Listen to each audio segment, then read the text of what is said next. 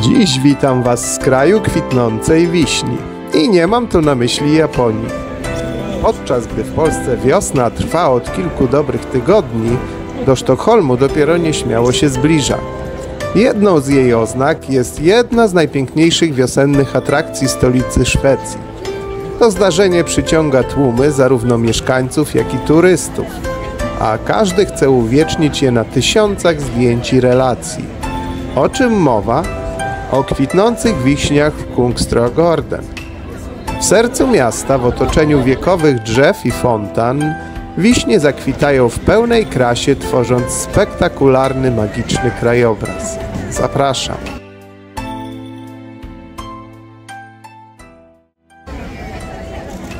Kungsträdgården, czyli królewski ogród, a w zasadzie sad, to miejsce z historią sięgającą XV wieku. Początkowo był to ogród przy Pałacu Królewskim, gdzie hodowano owoce. Dziś to urokliwe miejsce pełne fontan, zieleni i kwiatów, gdzie mieszkańcy i turyści mogą odpocząć w otoczeniu natury. Zwykle pod koniec kwietnia setki drzew wiśniowych zakwita w pełnej krasie, tworząc przepiękne różowe obłoki. Ich delikatne różowe kwiaty niesamowicie przyciągają uwagę. Ten wspaniały spektakl natury możemy podziwiać bardzo krótko, zaledwie około 10 dni. Dlatego wielu turystów odwiedzających Sztokholm w kwietniu stara się trafić właśnie w te wyjątkowe dni. Warto trafić do Sztokholmu w kwietniu i zanurzyć się w tym magicznym świecie, gdzie każdy krok jest jak taniec wśród płatków kwiatów. To czas, kiedy miasto budzi się do życia po wielu miesiącach zimy, a kwitnące wiśnie są zapowiedzią coraz cieplejszych wiosennych dni.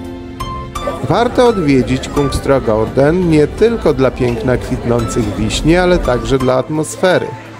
To miejsce, gdzie organizowane są różnorodne wydarzenia, koncerty, festiwale i jarmarki.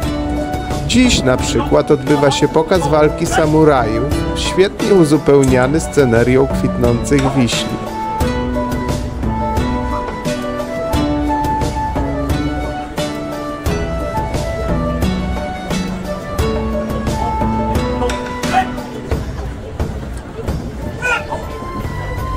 Wiosną ogród staje się tłem dla licznych sesji zdjęciowych. Tłumy ludzi przychodzą tu, aby uwiecznić chwilę w otoczeniu kwiatów. Niestety, praktycznie zawsze jest tu pełno ludzi, co raczej atrakcją nie jest. Tymczasem spójrzcie jeszcze chwilę na to wspaniałe widowisko.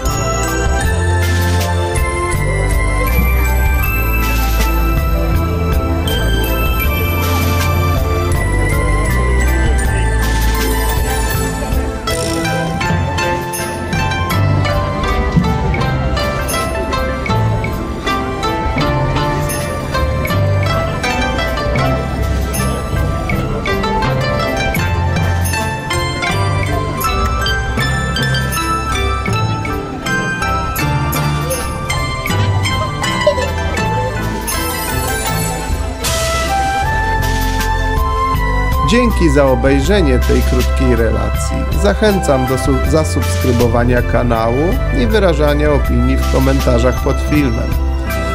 Do zobaczenia wkrótce.